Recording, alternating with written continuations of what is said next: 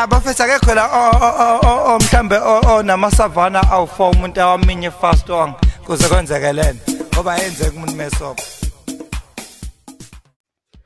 uthulile ubuke ndawonye uququda imihlathi kukhala mkrum mkrum mkrum kubonakala ngonyembezo lodwa olwehla ngeslow motion.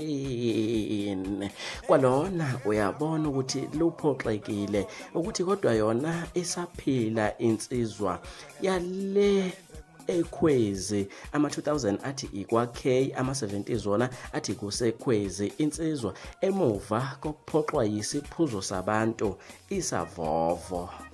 Masingene kuzona.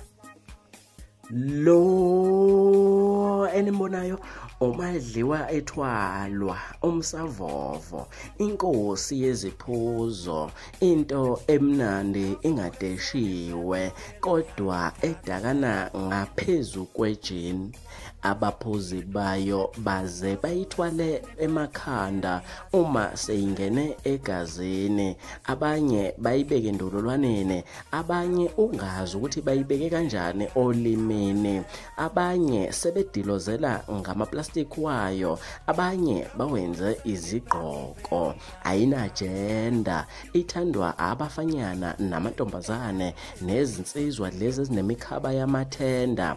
Ababi nabahle abafushane nabade abashaya isikuni nabagqoke ijazi abagowishayo emjolweni nabahappy abatyelwayo nabatyiwayo njengobe njena ke umsavovo ubefakwe efrijini kwi-deep freezer umsebenzisi wayo oyifake before alale lapho esevuka ekuseni ethi ufuna ukukhipha i-bubbles. Wavula ifriji wafica umsavovo eqhumile kwazise ufrize kwaze kweqa. Inhliziyo yomsebenzisi wayo iphukile piece izicucu. Ngathi begandaywa intombazana ogama layo ngusine noma umbali noma bathi upalisa noma mhlambe uzinhle.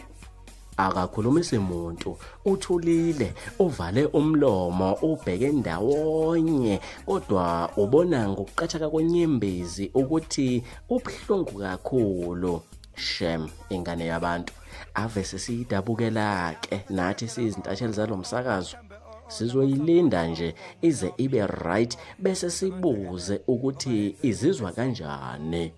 Siyasola kodwa ukuthi impendulo yayo izothi empilweni yami yonke ngihlezi ngiphoxeka ngiphulwa inhliziyo yile enye igender. Nezangoma zingitshela ukuthi kunabantu abangiloyayo engibathandayo ibe buhlungu iheart yami. Kodwa my brother lokho okungenzeke namhlanje kuyaqaqamba futhi ngishoda ngentambo yoyihenga mina ayikho into engiyiphilelayo kulo mhlaba. Hawu kodwa msavivi indoda yamadoda themba leyishimane mduduzwa abatyelweyo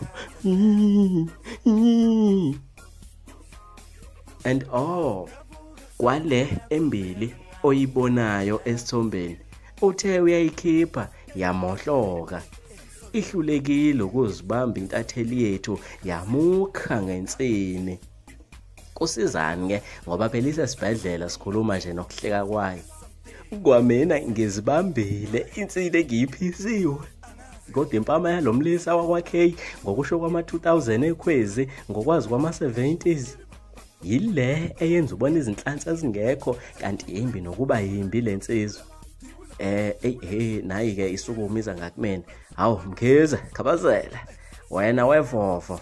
Eh guys kumele ngihambe igama lami. Ngingubhe hayibo hey wasuqosha induku manje webafu. Hey hey guys kahle khabazela ayidli nje.